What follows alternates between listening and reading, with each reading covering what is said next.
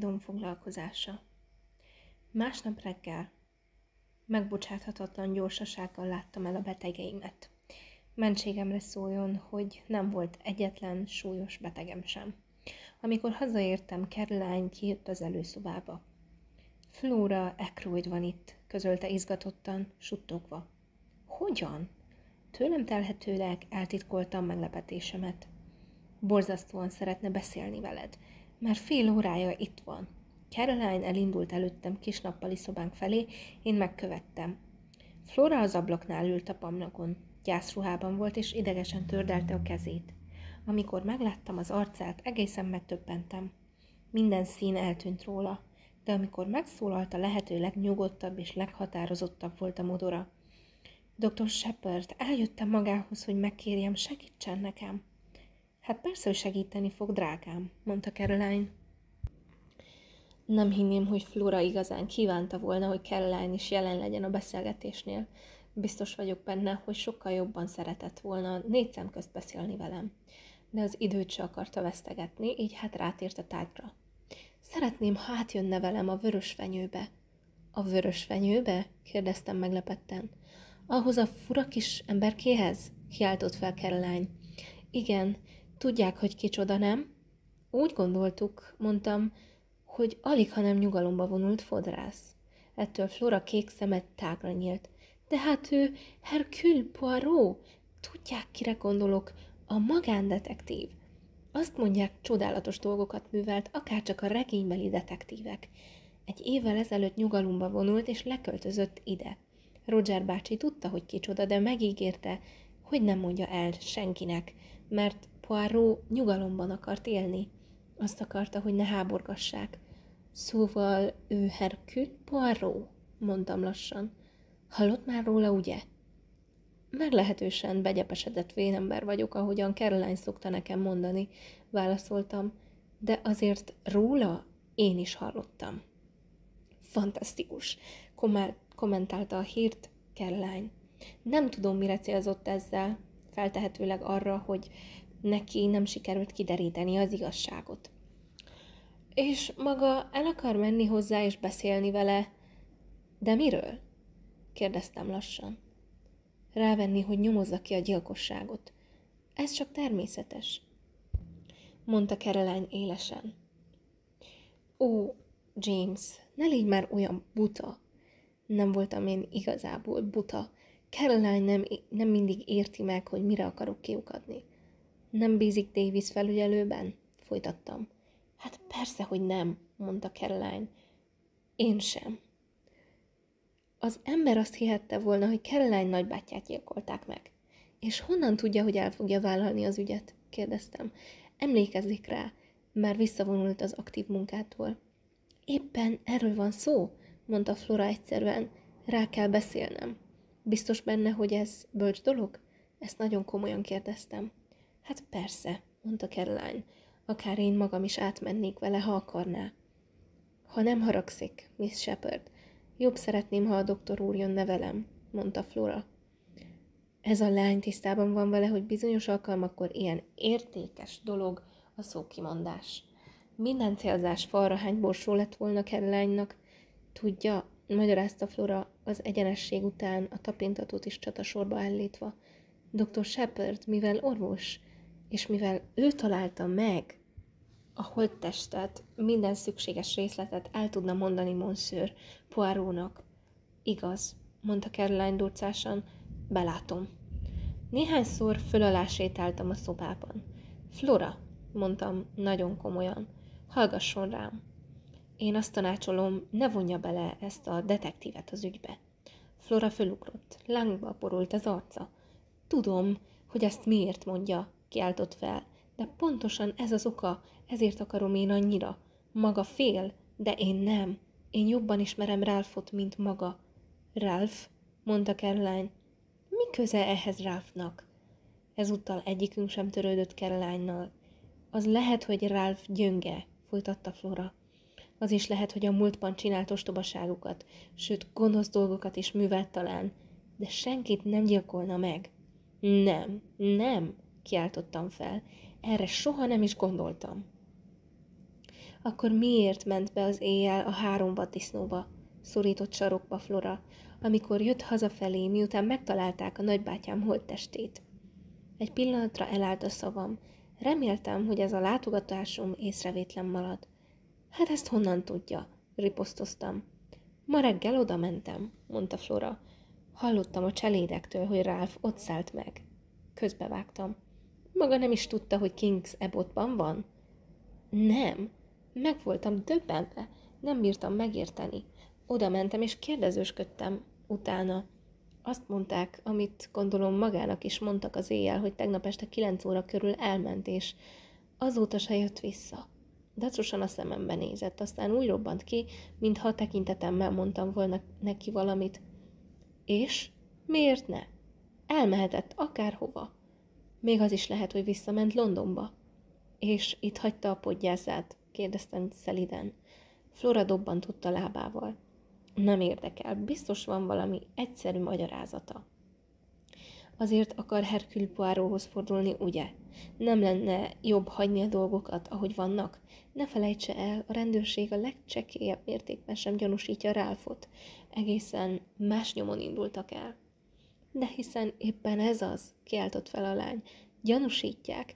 Ma reggel jött egy ember Cranchesterből. Reglen felügyelő, egy rémes, sunyi képű kis ember. Megtudtam, hogy ma reggel már ott járt a három vatisznóban. Én előttem. Mindent elmondtak nekem, hogy ott járt, meg hogy miket kérdezett. Biztosan azt gondolja, hogy ráftette. Ha ez így van, akkor tegnap óta meggondolták magukat, mondtam lassan. Ezek szerint ő nem hisz Davis elméletében, miszerint Parker volt az. Még hogy Parker, horkant fel a nővérem. Flora előrelépett, és a karomra tette a kezét. Ó, Dr. Shepard, menjünk át most rögtön Monsieur Poirothoz. Ő ki fogja deríteni az igazságot. Drága Florám, mondtam, és rátettem a kezemet a kezére. Egészen biztos benne, hogy az igazságot akarjuk. Rám nézett, és komoran bólintott. Maga nem biztos benne, mondta. Én igen, én jobban ismerem Ralphot, mint maga. Hát persze, hogy nem ő tette, mondta Caroline, aki eddig nagy nehezen csöndben maradt. Lehet, hogy Ralph szertelen, de kedves fiú és kitűnő modora van. Szerettem volna közölni caroline hogy rengeteg okosnak van kitűnő modora, de Flora jelenléte miatt eltekintettem ettől. Mivel a lány ennyire elszánt volt, kénytelen voltam engedni, és tüsténtel is indultunk. Elmentünk még mielőtt nővéremnek módja lett volna további kedvenc, hát persze, kifejezésével kezdődő kijelentéseket tenni. A vörös fenyő ajtaját egy óriási, bröthanyi főkötőt viselő öregasszony nyitotta ki előttünk. A jelek szerint Monsieur Poirot otthon volt. Bekísért minket egy nagy gonddal berendezett kicsi nappali szobába. Egy-két perc elteltével megjelent tegnapi barátom. Monsieur le docteur? mondta mosolyogva. Mademoiselle? Meghajolt Flora előtt. Talán, kezdtem, hallott már a tragédiáról, amely tegnap este történt. Poirot arca elkom- elkomorodott. De mennyire hallottam? Iszonyú, mademoiselle, fogadja őszinte részvétemet. Mi módon lehetnék a szolgálatára? Miss Ekroyd, mondtam, szeretné, ha... ha... ha megtalálná a gyilkost, mondta Flora tisztán, jól érthetően. Értem, mondta a kis emberke. De hát ezt megteszi a rendőrség, nem? A rendőrség esetleg hibát követhet el, mondta Flora. Azt hiszem, éppen azon az úton van, hogy hibát kövessen el. Kérem, Monsieur Poirot, legyen szíves, segítsen nekünk. Ha, ha ez a pénzem múlik... Poirot felemelte a kezét. Erről ne könyörgök, mademoiselle. Nem, mintha engem nem érdekelne a pénz. Egy pillanatra felvillant a szeme. A pénz sokat jelent nekem, és mindig is sokat jelentett. Nem, de ha én ebbe belevágok, akkor egy dolgot világosan meg kell értenie. Akkor én nem nyugszom, amíg a végére nem járok. A jó kutya soha nem hagyja ott a nyomot, ne felejtse el. Talán azt fogja majd óhajtani, hogy bár bízta volna a dolgot a helyi rendőrségre. Az igazságot akarom, mondta Flora, egyenesen a szemébe nézve. A teljes igazságot? A teljes igazságot. Akkor elvállalom, mondta a kis emberke csöndesen. És remélem nem fogja megbánni a szavakat. most pedig mondja el nekem a körülményeket. Jobb lesz, ha doktor Shepard mondja el, mondta Flora. Ő többet tud, mint én. Erre a felszólításra belefogtam az előadásomba, és gondosan összefoglaltam mindazokat a tényeket, amelyeket már leírtam. Poirot nagy figyelemmel hallgatott, itt-ott közbe kérdezett, de legnagyobb részt csöndben ült, szemét a mennyezetre szögezve. Ott fejeztem be a történetemet, amikor éjjel a felügyelő meg én eltávoztunk a Ferni Parkból.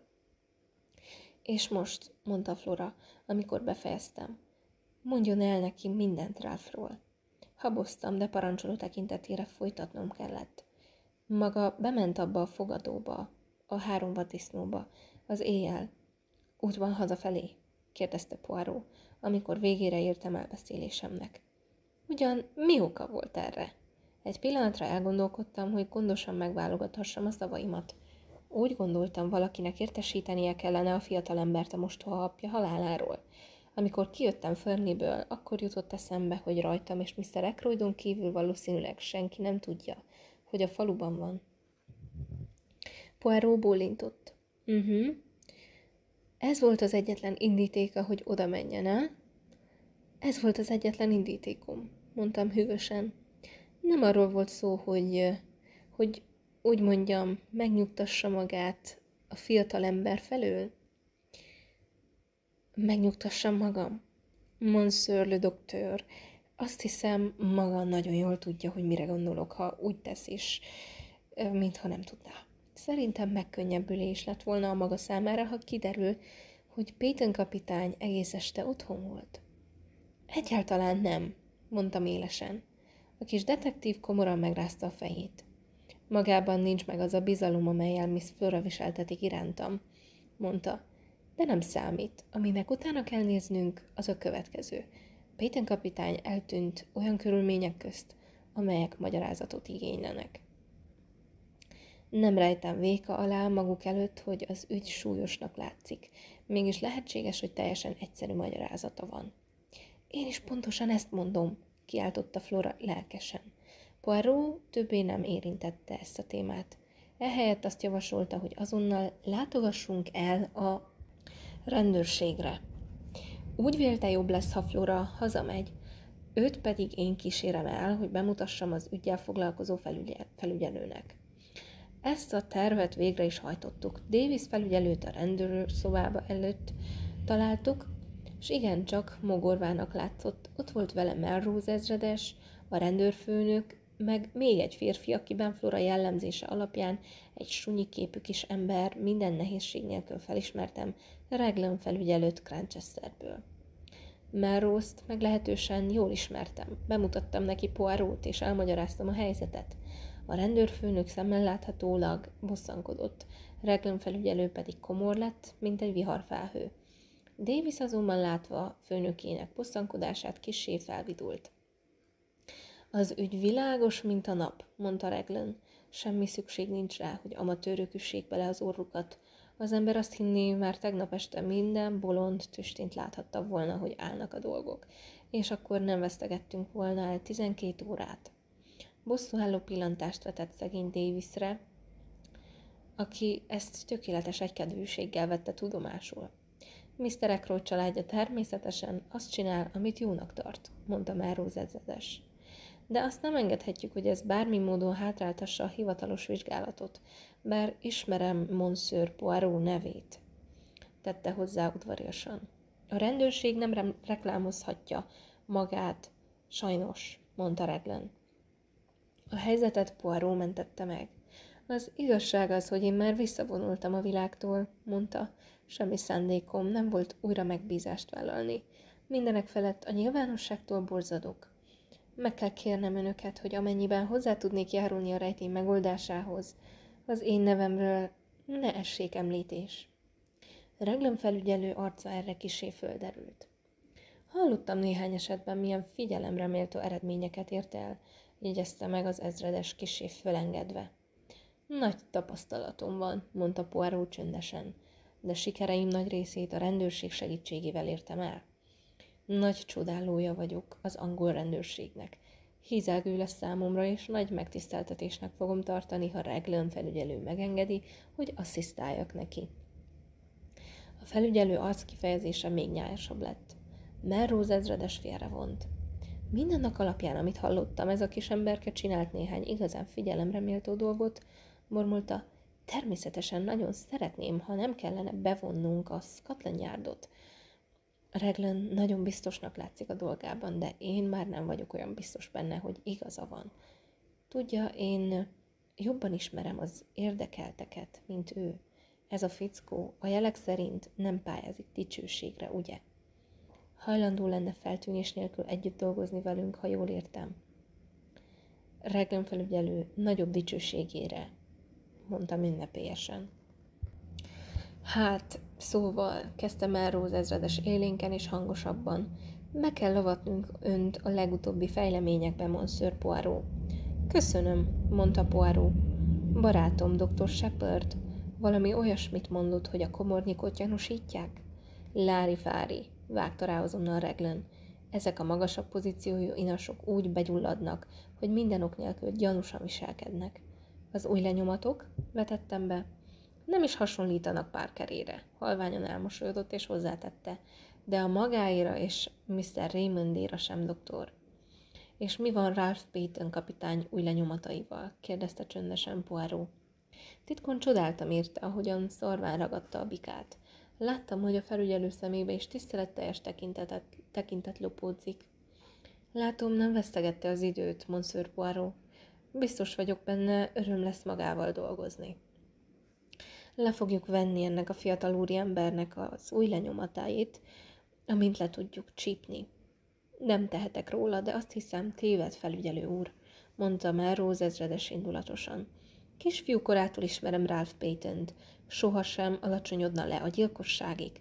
Lehet, hogy nem, mondta a felügyelő szintelen hangon. Mit hoznak fel ellene? kérdeztem. A tegnap este kilenckor elment. A Fernley Park szomszédságában látták valamikor fél tíz körül. Állítólag súlyos pénzavarban van. Ide hozattam egy pár cipőjét, kumitalpú cipő. Két pár volt neki, majdnem pontosan egyformák. Most fogok fölmenni, hogy összehasonlítsam azokkal a lábnyomokkal. A rendőr odafön van, vigyázz, hogy senki ne nyúlhasson hozzájuk. Megyünk is, tüstént, mondta a Melrose ezredes. Ugye elkísérnek, maga meg Monsieur Poirot. Beleegyeztünk, és valamennyien fölhajtottunk az ezredes kocsiján. A felügyelő nagyon szerette volna azonnal megnézni a lábnyomokat, és kérte, hogy tegyük le a portás főkélnél. A kocsi felhajtóról, mint egy félúton jobbra, egy ösvény ágazik le, amely oldalra, a teraszra és Ekroy dolgozó szobájának ablakához vezet. Akar a felügyelővel menni, Monsieur Poirot? kérdezte a rendőrfőnök. Vagy jobb szeretné a dolgozószobát szemügyre venni. Poirot az utóbbit választotta. Az ajtót Parker nyitotta ki előttünk. Kínosan pedáns és tiszteletteljes volt a motora. A jelek szerint magához tért az éjszakai pánikból. Melrose ezredes elővett a zsebéből egy kulcsot, és miután kinyitotta vele a kis előtérbe vezető ajtót, kikísért minket a dolgozószobába. A szoba pontosan úgy van, ahogy tegnap este volt, kivéve, hogy a holttestet elszállították. És a holttest hol találták meg? A lehető legpontosabban leírtam Ekroyd helyzetét. A karosszék még mindig ott állt a kandalló előtt. Poirot odament és beleült. Az a kék levél, amelyről beszélt, az hol volt, amikor maga kiment a szobából? Mr. Ekroyd erre a kis asztalra tette a jobb keze felől. Poirot bólintott. Ezt kivéve minden a helyében maradt? Igen, azt hiszem, igen. Máróz ezredes ruppantul lekötelezne, ha egy percre leülne ebbe a székbe. Köszönöm. Már most, Monsieur le Docteur. Lenne szíves megmutatni nekem pontosan, hol helyezkedett el a tőr?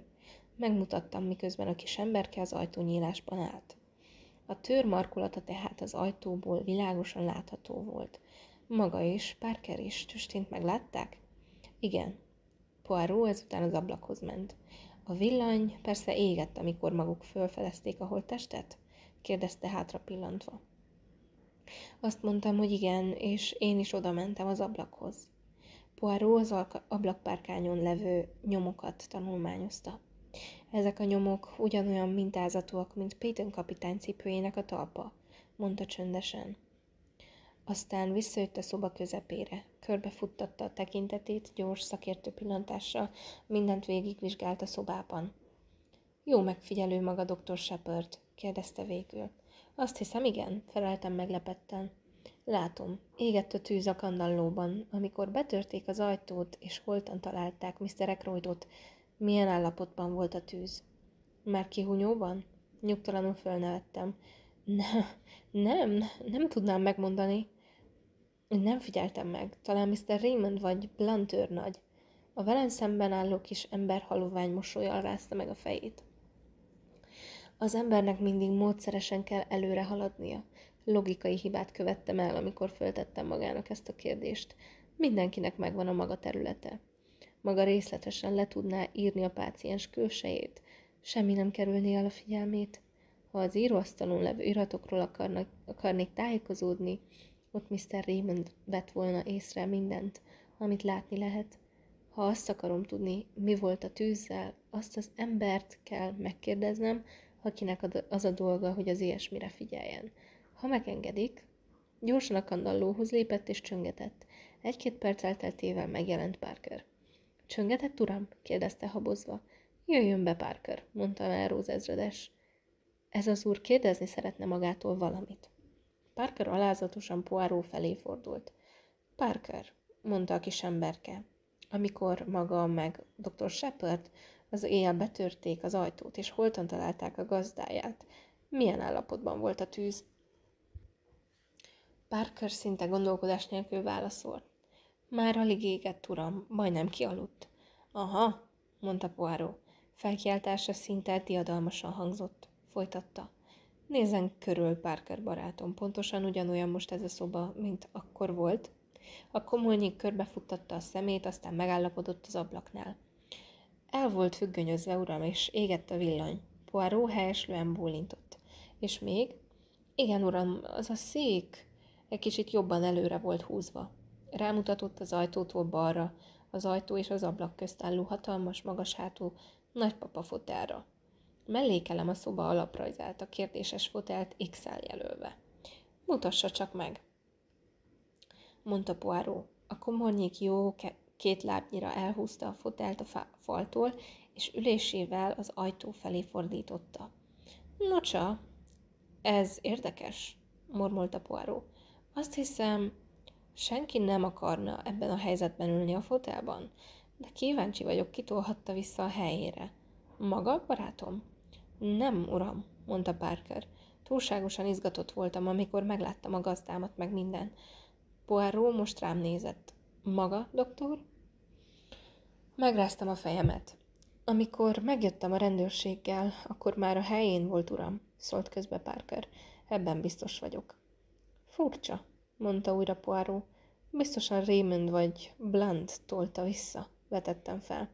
Ez talán csak nem olyan fontos. Teljesen lényegtelen, mondta Poirot. Ezért olyan érdekes, tette hozzá halkan. Bocsássanak meg egy pillanatra, mondta Melrose ezredes, és Parkerrel együtt elhagyta a szobát. Mit gondol, igazat mond Parker? kérdeztem. A fotelügyében igen, különben nem tudom. Rá fog jönni Monsieur le ha sokat foglalkozik majd ilyesféle ügyekkel, hogy ezek egy dologban mind hasonlítanak egymásra. Miben? kérdeztem kíváncsian. Mindenkinek, aki érdekelt bennük, van valami rejtegetni valója.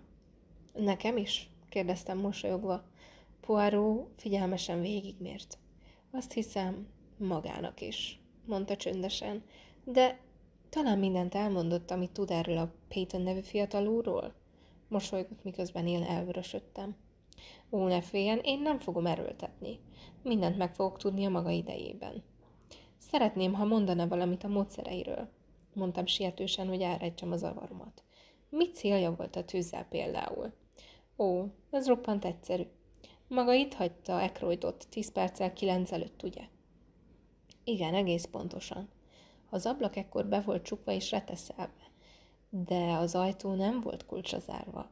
Negyed tizenegykor, amikor a holttestet felfedezték, az ajtó be volt zárva, az ablak pedig nyitva. Kinyitotta ki. Nyilván csak maga Mr. Ekroyd tehette, és pedig két oka lehetett rá.